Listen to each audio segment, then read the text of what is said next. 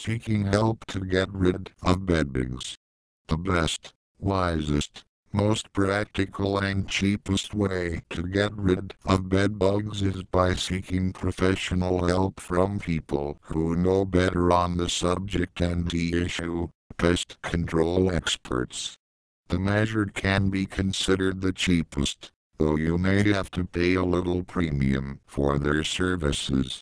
The catch, the attempt, for sure will be successful, meaning you do not have to keep on buying pesticides or other modern equipment claimed to help get rid of bed bugs. You will also save on costs for lotions or anti-itching medications that would be needed to relieve your discomfort due to bed bugs bites. There are a handful of pest control experts in your locality.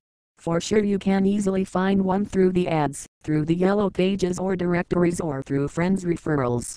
When asking for pest control professionals help, be sure to commit your full cooperation.